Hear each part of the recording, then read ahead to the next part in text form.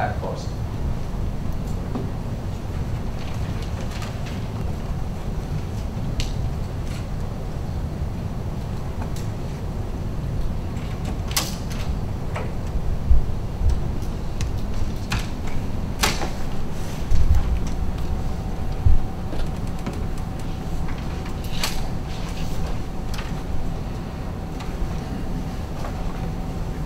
Hello, Ms. Carson. Hi. I'm going to ask you to raise your right hand. Do you swear that the testimony uh, you're about to give in this hearing will be the truth, the whole truth, and nothing but the truth, so help you God? Yes. Mr. Lavelle. Thank you. Ms. Carson, how are you today? Doing fine, thank you. I called you here today because I'd like you to introduce yourself to the members of the Civil Service Board. Okay. And can you please tell them who you are for the record? Okay, for the record, I'm Pat Carson. I'm the Director of Personnel Services for Forsyth County Government. What does your job entail as the Director of Personnel Services for the county? I really oversee the coordination and application of the lobby policies and uh, the services provided to the employees of the county. I would like you to explain for the record, I mean, I know a lot of folks know this already, but, but for the record, explain to me how the sheriff's office is, um, how it interacts with it, with, let me withdraw that, it's such a terrible question. Are the sheriff's employees uh, governed by the civil service of the county? Yes, the majority of them are, except for six that are appointed. And when they're governed by the, the county uh, civil service, are there any rules and regulations that the county promulgates with regard to how uh, people are treated upon separation of employment? Yes, there are policies that govern that. Let me show you what is now marked, or what will soon be marked.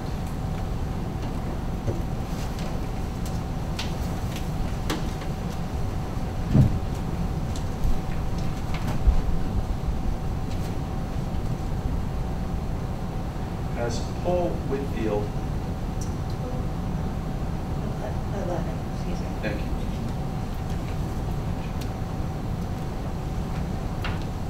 So,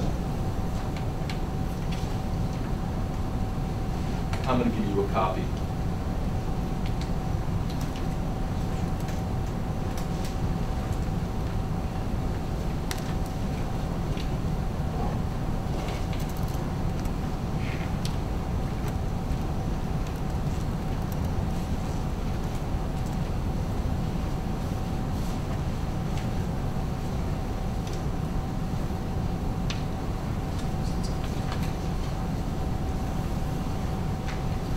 Let me show you what's uh, marked as number 11 and what is marked as number 12. I'm just going to move these two for you. This is 11 and this is 12. Can you identify 11 and 12? Yes, PW eleven is the policy seven from the Forsyth County Employee Handbook regarding separation. Okay. And what is the procedure regarding separation and notification to the county prior to a person being terminated?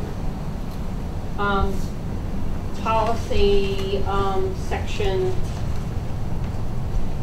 eight, specifically for dismissals and such, um, require that, or state that the department notify personnel services director, prior to the dismissal, or at least, um, uh, immediately next following business day.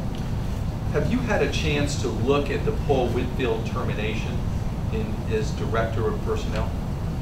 Yes, I was able to uh, look over that packet that was sent to me. Was it, was it sent to you in conformity with this policy? No, it was not. Can you tell the members of the, of the Civil Service Commission when you actually received this termination package? June 10th, And when was he terminated? I believe, May the thirtieth. Now, under the rules and regulations, is it, a- is it, is it required for a uh, department head and elected official to comply with this directive? Yes. Okay? And take a look, if you would, I think that there is a memorandum dated August the 16th, 2010, uh, which stresses the importance of Policy 7, Section 8, dismissals. What is the importance of that policy, if you could explain it to the members of the Civil Service Commission? This particular memo, um, actually, uh, the PW twelve was generated by the county manager to all department heads and elected officials after actually, um, having met with the civil service board specifically regarding the importance of the dismissal process, uh, policy seven, section eight, relative, um, to that process. Okay. Now, it talks about in, in the memorandum of August the 16, 2010, a checklist. Did you see a checklist, by the way, of termination proceedings or procedures, I should say, in the Whitfield file? No, there was not. What is the importance, in your view, as personnel director, of following this policy? The importance, really when you get down to the basics of it, is to allow the employee the opportunity to address the, the criteria upon which their dismissal is being based upon, to be able to look through the information, have a pre-dismissal conference, be able to voice that prior to the actual action being taken, and to be also afforded the knowledge of what the appeal process is. Is there, is there a reason why an employee normally should be given advance notice of a pre-termination hearing? The intent with that is for them to be able to, first of all, not be blindsided, but be able to gather any pertinent information they feel may be relevant to bring with them to the pre-dismissal conference. Should they be accorded any type of documentation or any other type of information prior to this pre-termination hearing? Not necessarily. Um, They could be told, it- they should be told what it is based upon and what it is for. Um, And in the pre-dismissal conference, all of that information is provided to them, but if they feel that there is something that is missing, that is relevant to the, to the case as such, in that meeting, the purpose of that then is that that group can then postpone or delay the actual dismissal meeting, whether it be a day, an hour, whatever, in order to allow that employee that opportunity to either retrieve that information, whether it be at their desk or at, on their computer as such. Does it also allow them for an opportunity to gather their thoughts about how to proceed? Oh, absolutely. Is it important for an employee to have adequate time to be able to think about what needs to be gathered in order to prepare for that hearing? Yes, And you take that seriously here in Forsyth County? yes.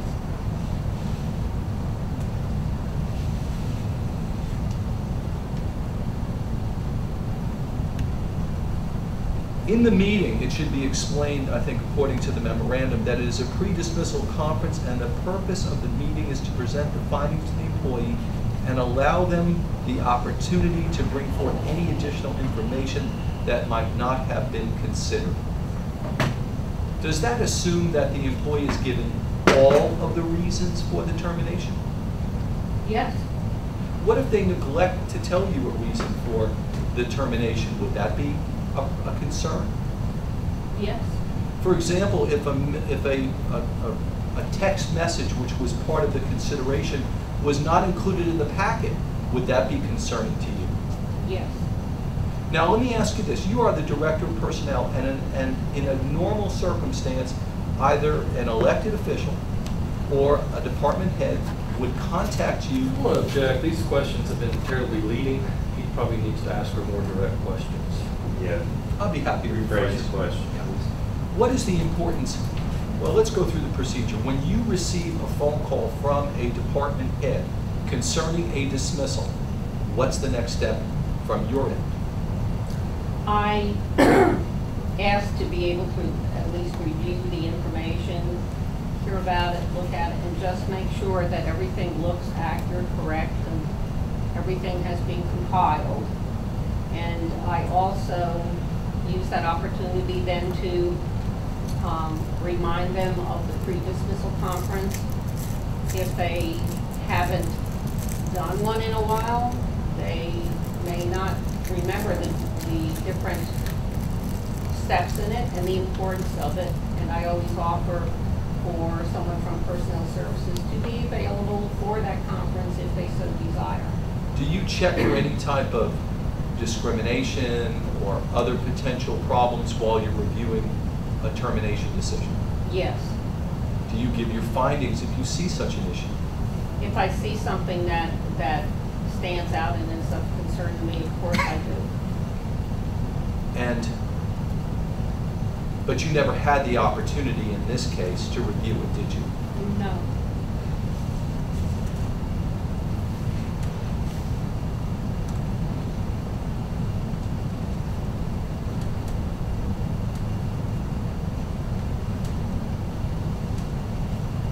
Just give me one moment, I'm almost.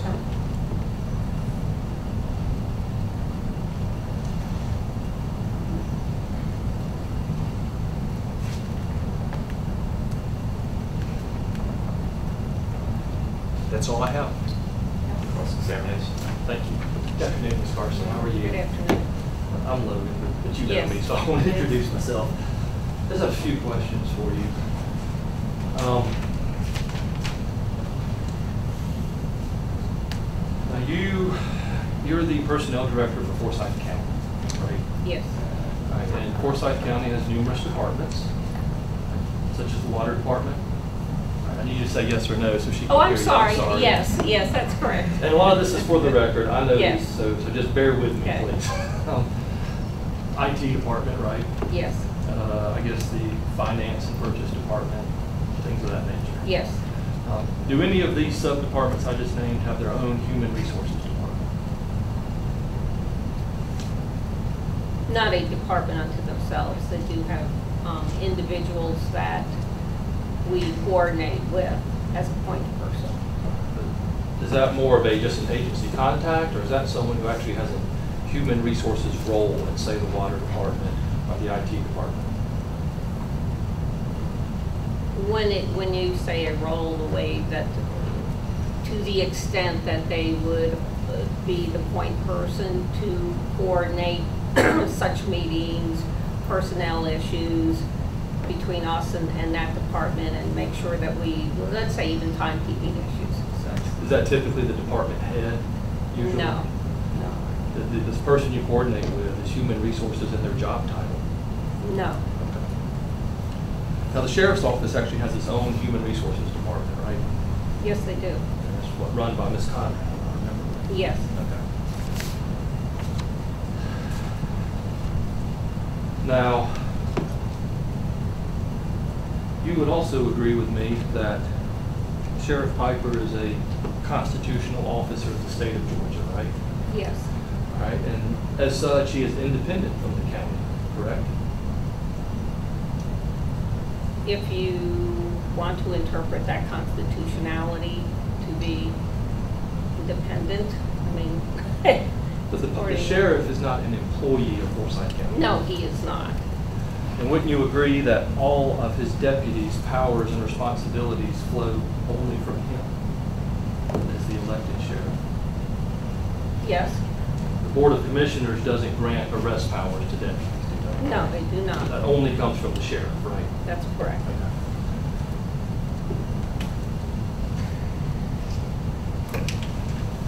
Wouldn't you also agree that being a law enforcement agency, that the sheriff's office is a unique office as compared to any other county department or office? They do have their unique items, same as other public safety as fire. And I'll exclude the district attorney. Objection, objection. Let him finish. I'm She was sorry, about to What's say- the objection? The objection is he's interrupting them. Okay. All right, yeah, let- I thought you were Okay. finished. I'm No, I'm sorry. It, it is, has its unique items, same as other public safety entities, even like the fire department or 911. Okay. Um, But excluding like the DA's office and some of their investigators, uh, and I guess the Solicitor General's office investigators as well, there's no other county department or office where most of the personnel are carrying firearms. is there? No, there are not. I think the, the investigators in the, not the, the fire in- investigators in the fire department too. They might, they Yeah, might as well. yeah. Um, And wouldn't you also agree that the sheriff's office, I mean, their, their, their role in law enforcement is investigating criminal actions that occur in the county? I would assume so, yes. And, and some of these are minor infractions, right? Yes, And sometimes we have big cases, bad things happen sometimes, wouldn't you agree? yes, Wouldn't you also agree that during the course of these criminal investigations, that information discovered during that process is sensitive and confidential information? I'm sure there is. Um, And you might be familiar with the Open Records Act. People cannot get open records on pending criminal investigations, can they? And that's correct, Because they're confidential, right? correct. And wouldn't you also agree that that confidential information were put out in the community that would be harmful to the sheriff's office? It could be, Wouldn't you also agree that if that confidential information is put out in the community, it could, quite frankly, be harmful to the citizens of this county? Objection, speculative, doesn't predicate what confidential information I object. So this is all a hypothetical discussion. Um, I don't think she can answer in terms of what, well, I'm asking her what her belief is. Right. She can't answer. Yeah, she can't answer what other people may think, but I'll go ahead and allow the, the question. As to your That belief, in your opinion. okay, in my opinion, yes, it could. Now, the sheriff's office also has its own personnel policy, doesn't it?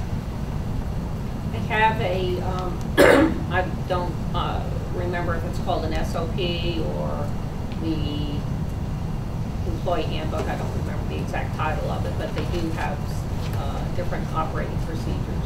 They do have different operating Yes, And would you not agree that it is important for the sheriff's office to have separate operating procedures due to the nature of your business? most of the departments do have, um, have established departmental policies and procedures. Right, I mean, you can't run a sheriff's office like you run a water department, can you? Correct. Now, it's also your understanding that part of the sheriff's office personnel policy includes violations of misconduct, Yes, and that sheriff's employees can then be sanctioned if they've been found to have violated any of these outlined rules of misconduct. yes, Now, no one at you or no one in your department investigates any allegations of misconduct of the sheriff's office, do you? That we do not. That, that authority is with the sheriff.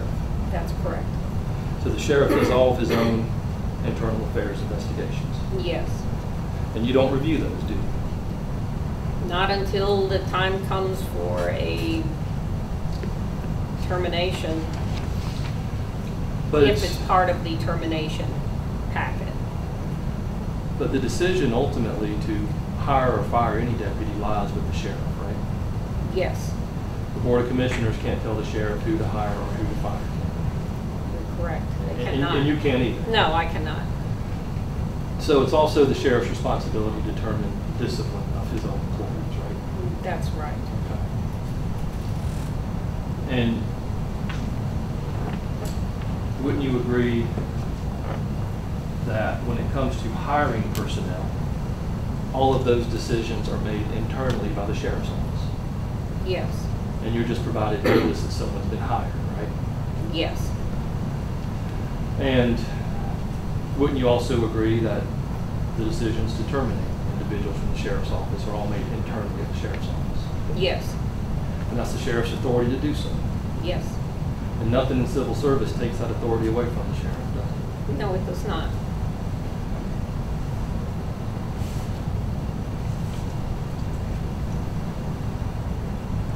And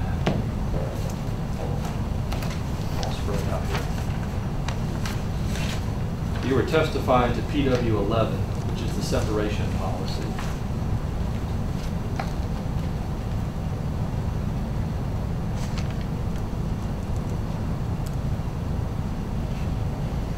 And isn't it true that the policy allows for dismissals to occur without prior notice to the employee? It is ideal to provide prior notice, but no, it is not a requirement due to safety, if, if safety reasons are tied to it. There, there are a variety of reasons, but it's not a requirement. Correct.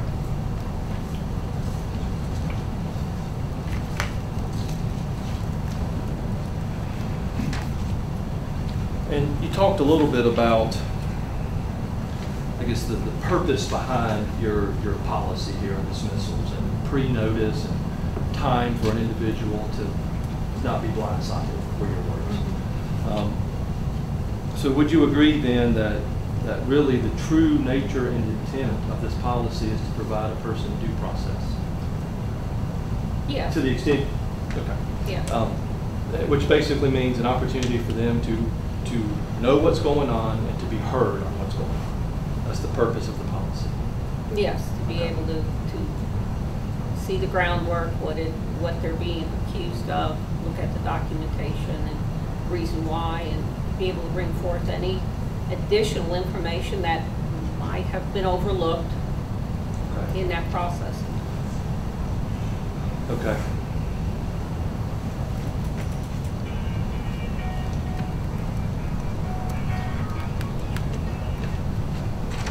Give me one minute to look over my Oh, notes, yeah. please.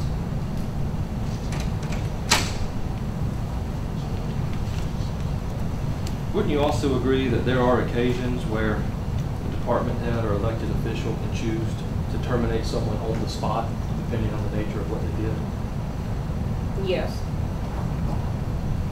Uh, Those are all the questions I have. Thank you for your time. you're welcome. Uh, I have some more about that. Absolutely. Uh, Ms. Carson, did you notice, uh, did did you have a chance to review the actual uh, packet that was given to uh, Lieutenant Whitfield? I'll show it to you here. For the record, it's FC 11.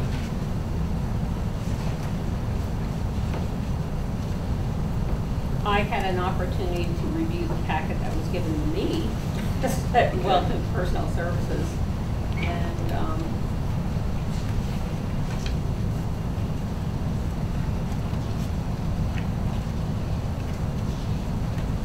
that looks about to be one and the same. Well, take a look and see, do you see any signature that uh, is from the sheriff in this case?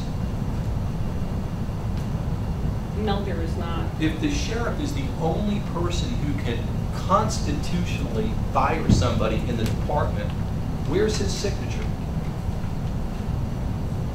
Well, there is not a signature on here from him. Okay, is there anything document in there from the sheriff himself?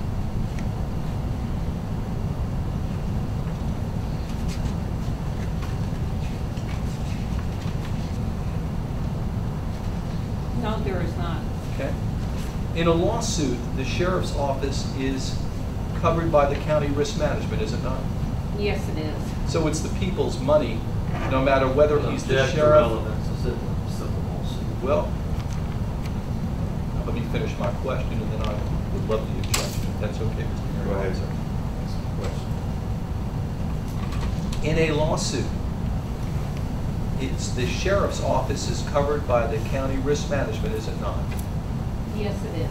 And the sheriff's employees are covered by the civil service rules and regulations, except for the six, Hold are up, they Jack, this is leading, It's a statement, yes or no? which is a leading question. All right, what's, re-ask your Okay. question. I would like you to explain to the Civil Service Board and the record the relationship between the employees who are not one of the six, and the county? They work for and under, for the sheriff of Forsyth County and are governed under the civil service rules regs. Do they receive any type of benefits that are different from that of county employees? Not that I'm aware of. Do they, are they under the same health insurance, for example? Yes, they are.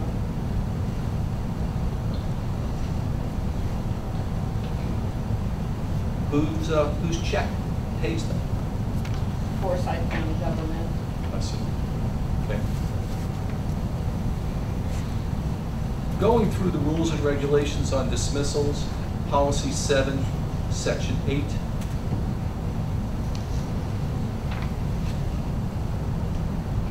You had been questioned uh, by Mr. Butler about that whether or not you needed to have prior notice. Do you see the policy? I have the policy in front of me.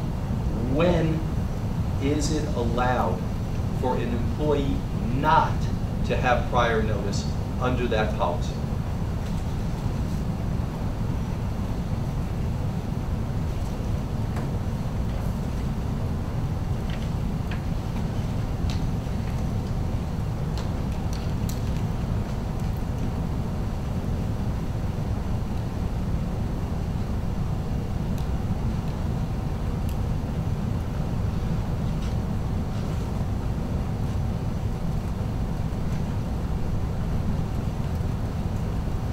It says the, a, uh, it may be instituted without prior notice to the employee when deemed necessary to protect the county or the employee concerned.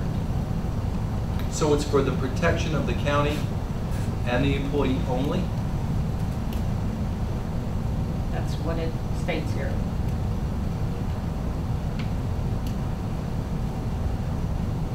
And when were you supposed to be notified of the termination decision in this case? No later than the end of the following business day. Were you notified by the end of the following business day? No, I was not.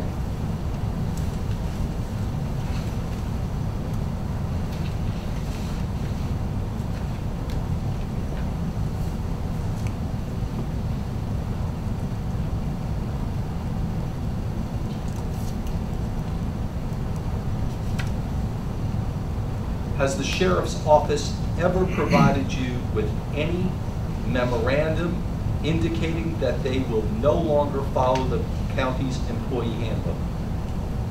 No, I have not.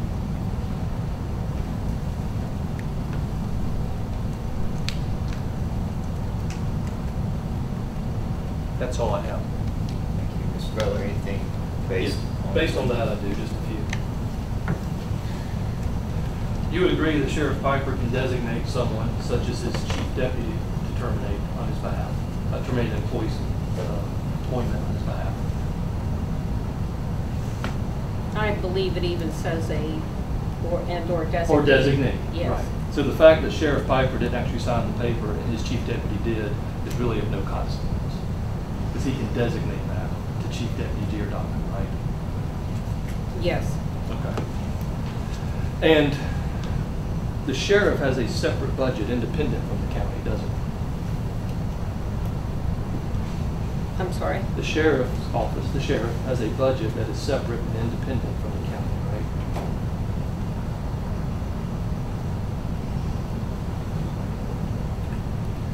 Well, they, he does have his own budget, that is correct. It is approved by the Board of Commissioners, so it is still part of and funded by, Uh, County. The board approves it Yes. and funds it, yes, but then once that's done, it's the sheriff's budget, right? yes, And all of his salary and benefit dollars are in his budget, right? yes, And even though your office might issue the check, you are drawing that money out of the sheriff's budget to issue a paycheck to sheriff's personnel, aren't you? it is charged against that. Okay, all right. That's all I have, thank you. Uh, Can I, Based on those? based only on that? Was there any memorandum in this package showing that the chief deputy was sitting by designation? No, there was not. Does it not say, note, each employee supervisor up to and including the sheriff should sign action recommendation form and it should then be signed by the employee? Yes. Do you see any memorandum designating Chief Giordano? I did not see one in here, no. That's all I have. All right, uh, members of the board, again with Mr. Perry, any questions for Ms. Carson? Uh, Yes, ma'am, I've just got a couple of questions. I'm a firm believer in an organizational chart, chain of command. So I, I just want to make sure I understand, if I were looking at a formal organizational chart, you're the head of personnel for Forsyth County, Forsyth County employees. But there's a different HR department within the sheriff's office. Correct. Is that right? Yes.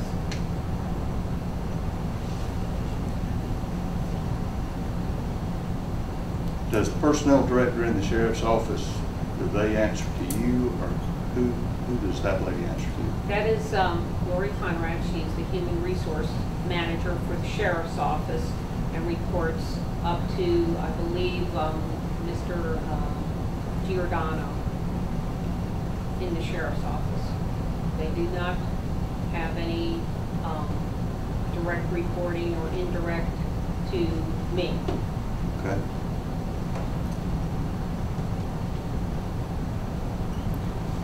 That said, um, I, I want to make sure I understand this.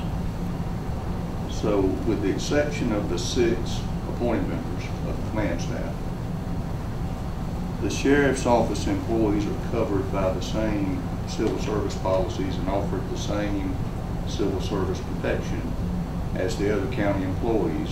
Is that true? That is true.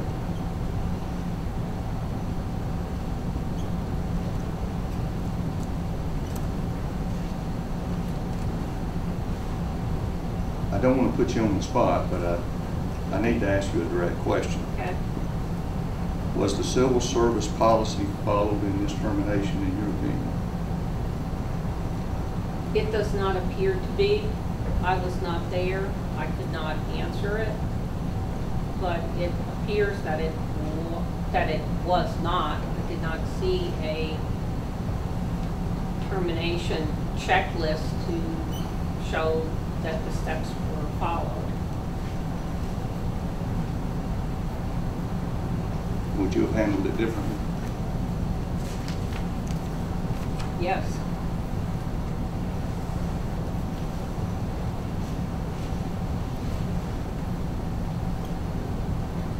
If, say in the water department, or the purchasing and finance department, or one of the other departments, if there was a situation where it was believed that an employee was not truthful with their supervisor, and their supervisor had performed the appropriate due diligence had come to the determination that maybe that employee had not been truthful would they have the right to fire them? Or would they need to come through you? They would need to go through, up the channel, through the department head, and then up through to me, and actually um, also be signed off by the executive manager, that being the county manager or the deputy or actually both, that reported through them.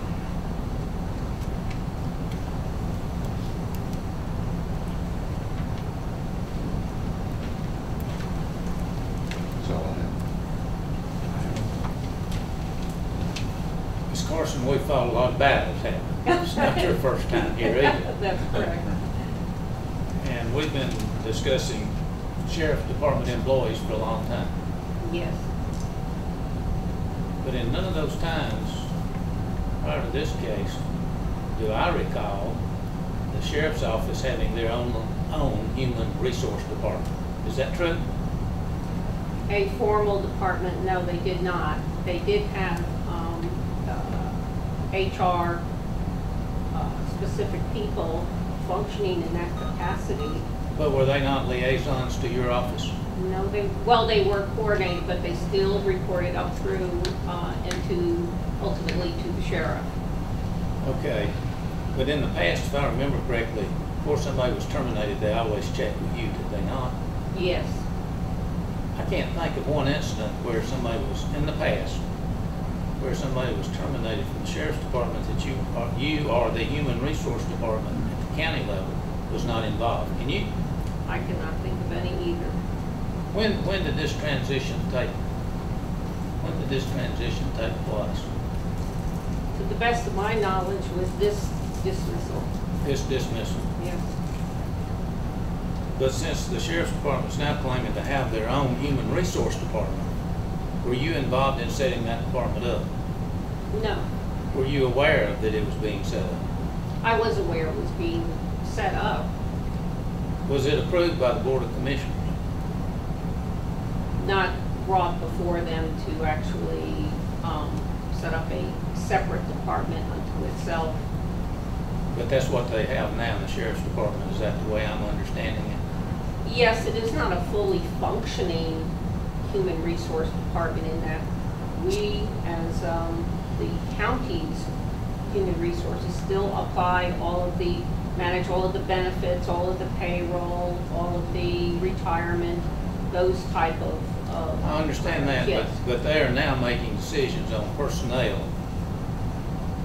outside of the county personnel department. Yes, Is that true? yes, Even though they're still under the same guidelines as what you operate, the other departments operate on, they could be interpreted differently in that department if that's the way they wanted to go. yes. How do you feel about that? Well, it, it's not good for, um, providing any type of consistency throughout the county in fairness to all of the employees that are covered under the same rules that can definitely result in inconsistencies and, and, um, different types of policies applied and interpreted differently. Last question. I can't recall any termination from the sheriff's department where the sheriff didn't sign that termination. Can you? I don't remember any that his signature was not on it. I would have to actually look through various files, but. Well, that would be me Yeah. too, but I can't recall one. I, I don't recall either. I don't have any other questions. Any additional questions by any other board members? No, sir. I have one question.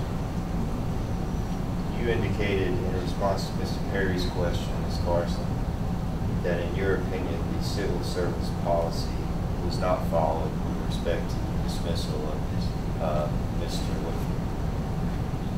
How was it, how was the policy not followed? I did not see anything in the file indicating that a pre-dismissal conference had been conducted, that, that there's a checklist uh, for a dismissal, and at the bottom of that form, it states when, where, and, and who was there for the pre-dismissal, and, um, everyone just initials it, you have a record of it, and it's part of this, this packet, which showed that in fact, everything was followed. So based on that, I can assume that it wasn't followed. Based on the fact that there's not a checklist in, in the packet? That, and in addition that, um, we were not, I was not notified until the tenth of June of the actual information. I heard, um, hearsay that something had occurred. And, um, in fact, Mr. Whitfield had come to the following Friday to visit with one of my staff members. And I believe that the next Monday after that, she did inform me that he said he had been terminated. And I actually did look through files and look to see, well, maybe this had come in, something had been sent that I, we might have missed. I could not find anything. And then I placed a phone call to Ms. Conrad and left a voicemail saying that I understood there was a dismissal, but I don't, uh, you know, it's new to me. It's all hearsay. I don't have anything here. And then I did get it on the 10th. Didn't you testify earlier that there's language in that policy 7